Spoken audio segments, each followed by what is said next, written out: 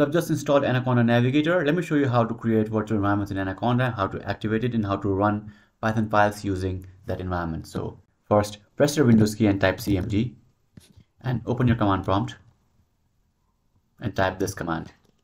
Conda create and then double dash name.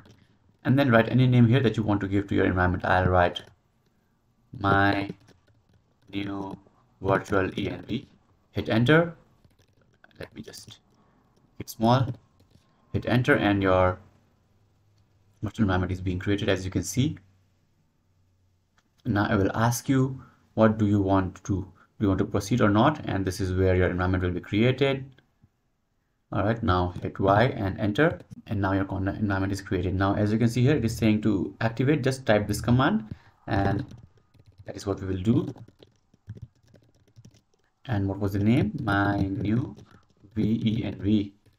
And if i do this now, as you can see here, my new venv is written in front of it. So that means that our virtual environment is created. Now, if we install anything, pip install, let's say pandas, and hit enter, it will be installed in this virtual environment. And if we had created another virtual environments, this will not be installed in those virtual environments. So we can now install our project specific things in this virtual environment and let's say we want to use some older version of pandas in another virtual environment or another project. So you create another virtual environment and then install that version of pandas in that virtual environment.